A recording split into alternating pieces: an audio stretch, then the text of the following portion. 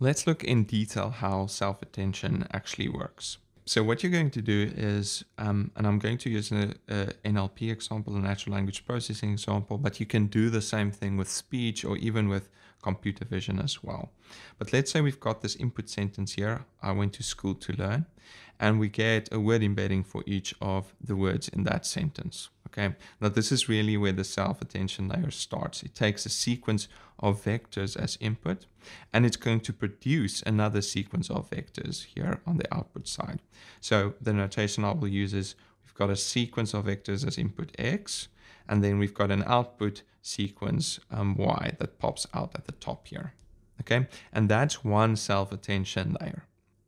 Now what we're going to do is we're going to take each of the input vectors and we're going to transform them in some way.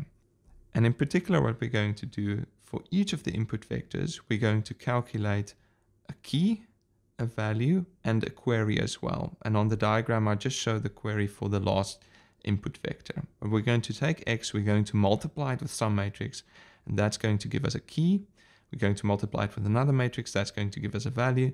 We're going to multiply it with another matrix, and that's going to give us a query vector for each of the positions. Okay, so for each of the positions, we actually get three vectors.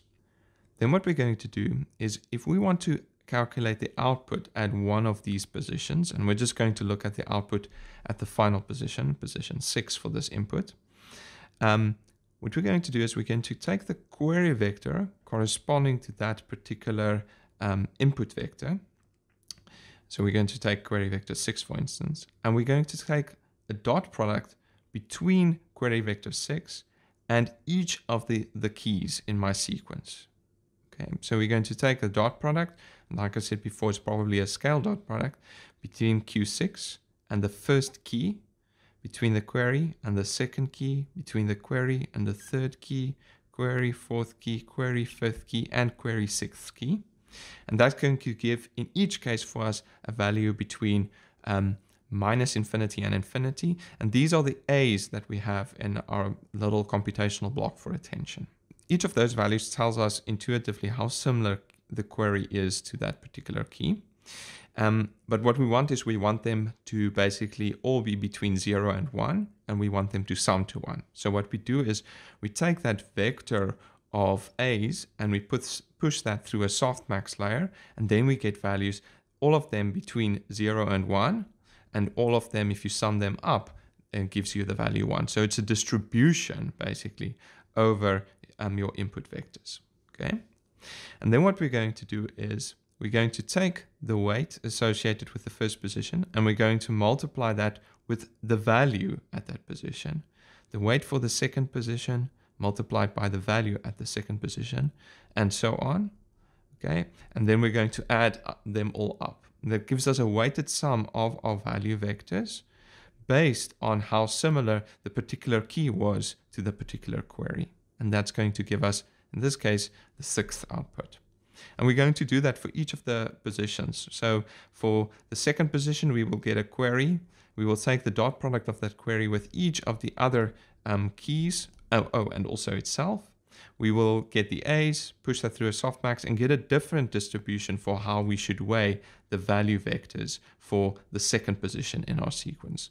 And then we're going to weigh them, and that's going to give us the output at the second position in our um, self-attention block. I hope that makes sense. That was pretty quick. Okay, but let's step through that quite carefully. And I'm just going to basically repeat all the steps that I just said, but um, very slowly go through all of the steps. So we have our input sequence x1 to t, and we're going to produce as the output a, a sequence y 1 to t. And in this particular diagram, I'm just going to focus on the sixth output here that we want to produce. Okay. So each of your input vectors have been transformed into a key and a value and a query by multiplying each of them with a, a weight matrix. So we will have a, a weight matrix for keys, a weight matrix for values, and a weight matrix for queries. And we obtain each of the individual keys, values, and queries by multiplying the input at that position with the um, key, value, or query matrix. Actually, let's let's just write that out now. So um, we would have a query at some position t which will be equal to a query weight matrix transpose times x at that specific position. Okay, that would be our query vectors. Our um, key vectors are going to be obtained by multiplying each position with a key matrix. Okay, and then finally our value um, vectors are going to be obtained by multiplying a value matrix with each of those positions. Okay, and these are all vectors, so they need little lines beneath them. That's how you go from the input to your whole bunch of keys, values, and queries. Okay, and now what we're going to do is we're considering the sixth position there. That's the aim of the game. So what we're going to do is we're going to take the dot product, the scale dot product in particular, between the first key and our query. Okay, the dot product between the first key and our query. Okay, and that then goes there. Okay, so that's the dot product value. We're going to do the same thing for the second position. So in the second position, we're also going to get a dot product between the second key and our query vector.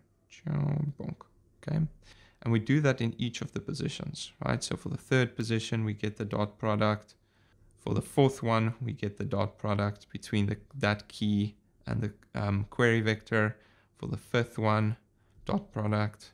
And for the sixth one, which is itself, um, between the sixth position's key and that corresponding query. So we get all of these dot products.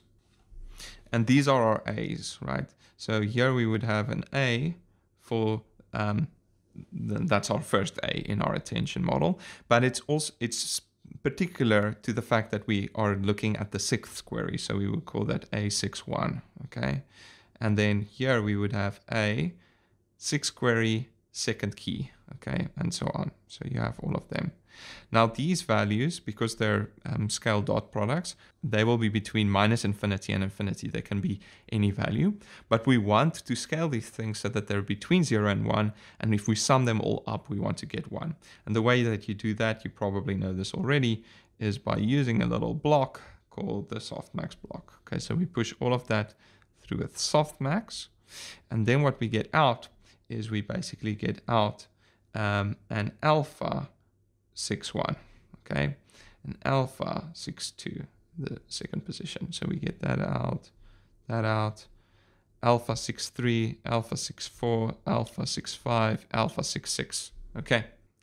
And this, these alphas are going to tell us how to weigh our values here at the bottom that we got from our input embeddings. How are we going to weigh them? That means I'm going to take alpha 6, 1, a value between 0 and 1, and I'm going to scale my input vector here v1. So I take that and I multiply that with the uh, value of alpha. So here I get out a vector which is alpha 6 1 times v1. Okay. In the second position, I'm going to take alpha 6 2 and that's going to serve um, as my weight for the second value vector. So I take the second value vector, I output that. So here in the second position, I get alpha 62 times v2. That's um, that second value that pops out there. Okay, and you do the same thing at every one of your positions. You multiply with the uh, value vector, you multiply with the value vector, and so you get out all these scaled vectors here. Then what you do, very simply, you just add up all these scaled vectors. So we're going to add them up. Okay, so all of these get added up, and that is then the sixth output of your self-attention layer. So we end up with a little vector here, and that vector is y6, the sixth output of our attention network. Okay, and how is y6 calculated, or maybe yi in general? that is calculated as the sum over um, all the time indices from time step 1 up to time step capital T. We're going to weigh each of our value vectors. So we're going to weigh each VT. And how are we going to weigh them? We're going to weigh them by alpha Um, now alpha will be different for each of the time positions, but alpha will also be different based on the fact that I'm using query number i if I'm outputting um, value number i. In other words, we're using query number 6 to calculate y6. Amazing. Okay, that's self-attention. You are basically done, uh, which is a little bit crazy. Importantly, we're going to calculate the outputs at every time position, right? So we're going to repeat this. Well, we've actually started with the final position. We will probably start with the first position. And we're going to then have uh, A11 with alpha 11, uh, A12 with alpha 12, and we're going to then weigh these values differently based that we're in the first position. And then we're going to get out here a vector, and that would be y1. Okay, so we're going to repeat this for all of um, the output positions in our self-attention layer or block. Okay, I hope that makes sense. And um, and that's that's basically it. So each of these blocks, you can think of them as really like a new computational block, almost like a, you know, you, you sometimes see these diagrams with a RNN or a CNN. And this is exactly, again, you have a little block. The block takes in a sequence of vectors. The block outputs a sequence of vectors. And inside that block, you have all these weighted sums going on based on all these little dot products um, that you're taking. Let's just finish the diagram so that you have everything that you need the A's at position T based on the query at position I, that's just going to be, and like I said before, we're going to use the scaled dot product. Okay, so we're going to divide by the dimensionality, of the square root of the dimensionality of your queries and your values. And how we're going to do the dot product is we're going to take the query at position I, transpose of that, and we're going to multiply that with the key at position T, and that gives us our A's. For the alphas, we're going to push things through a softmax. So the alpha for at time step t for query i is going to be the exponential of um, the a's, the scores, um, at it divided by, and then we're going to sum up over all the time positions up to capital T of E um, and then the score at all the different time positions given that we're looking at that uh, particular query um, i. Okay, so that gives us our softmax scores, and then that's what we use to weigh the value vectors in order to get the output of our self-attention block. And that is self-attention. Self-attention is one block that forms the core of transformer layers, um, which we will basically build up to now in the next few videos.